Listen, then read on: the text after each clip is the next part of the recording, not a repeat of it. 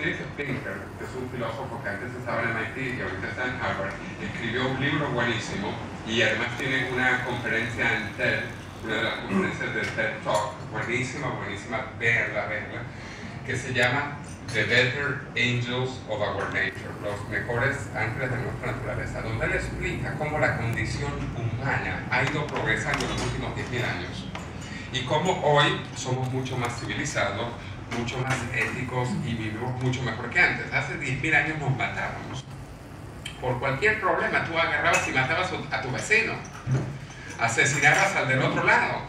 Y esto ocurrió hasta el siglo XX. O sea, nunca en la historia evolutiva de la humanidad hemos sido tan civilizados como somos hoy o tan éticos.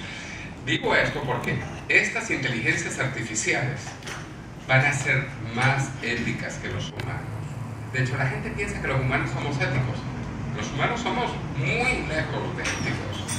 Pero estas inteligencias van a ser mucho más éticas que nosotros. Entonces, todas estas cosas que no hemos hecho los humanos, probablemente la hagan ellas, esta inteligencia artificial, y mejor que nosotros lo hubiéramos pensado. Bueno, esas son tres respuestas un poquito, pero de nuevo es una pregunta muy, muy europea, muy tipo dragón. En Asia no, eh, hacen otras preguntas, pero esa no.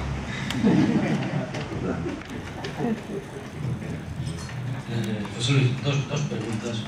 Eh, la, la, primera, eh, no entiendo yo eh, cómo un ordenador, o sea, cómo un un ordenador, una inteligencia artificial puede llegar a las emociones. Es que no, no, no cabe, o sea. Eh, y la segunda pregunta, que no tiene nada que ver con esta, es, yo he leído un libro que se titula El fin de la enfermedad y habla de la proteómica, así como se habla de la genómica, parece ser que hay en que el cuerpo funciona por proteínas, o sea, todo, el funcionamiento del cuerpo es a base de proteínas, que sirven para, todo, haber millones de proteínas que cada una sirve para lo que sea.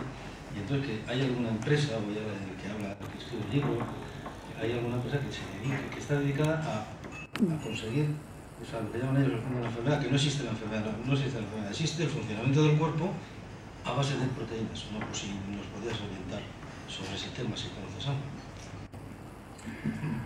Um, en realidad, sobre el segundo tema, realmente no conozco mucho, así que esa pregunta la voy a saltar.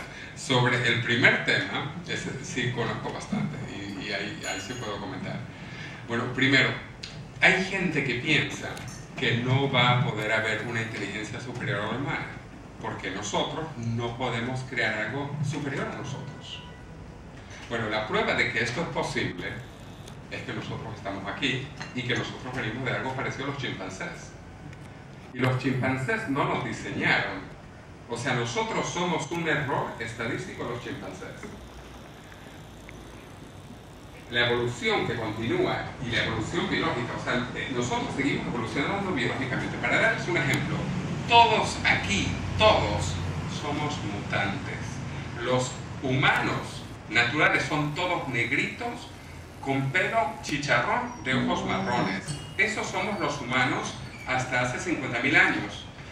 Y desde que nosotros salimos de África, mutamos. Por ejemplo, la piel blanca es una mutación de hace 18.000 años. Hoy se puede comprobar y se puede ver históricamente cuándo ocurrieron estas mutaciones. La piel blanca tiene 18.000 años. Los ojos azules son una mutación de hace 9.000 años. Entonces, todos ustedes, todos nosotros aquí somos mutantes. Y lo que quiero decir es que seguimos mutando, seguimos cambiando. Pero entonces, regresando entonces a esto de la inteligencia, entonces, ¿es posible que una inteligencia inferior genere una inteligencia superior? La respuesta somos nosotros. Venimos de chimpancés. Estamos aquí. O sea, a nosotros no nos diseñó un chimpancé. Nosotros somos un error de un chimpancé, más bien.